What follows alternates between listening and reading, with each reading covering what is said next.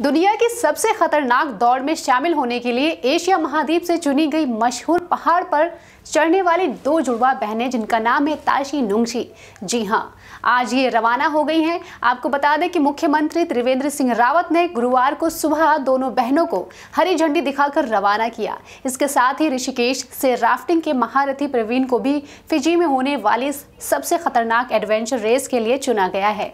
और इसके साथ ही सीएम ने इस एडवेंचर रेस के लिए ताशी नुंगशी को शुभकामनाएँ भी दी हैं और देश का नाम रोशन करके वापस लौटने की कामना की है। बता दें, फिजी में 9 सितंबर से 21 सितंबर 2019 तक चलने वाले इस इको चैलेंज 2019 के नाम से आयोजित होने वाले इस एडवेंचर रेस में तकरीबन 30 देशों की 67 टीमें भाग ले रही हैं तो वहीं 675 किलोमीटर के इस एडवेंचर रेस में 12 खतरनाक एडवेंचर एक्टिविटीज़ होंगी। और ये सभी एक्टिविटीज़ फिजी देश के घने जंगलों, पहाड़ों, नदियों और समुद्र के ज़रिए होंगी।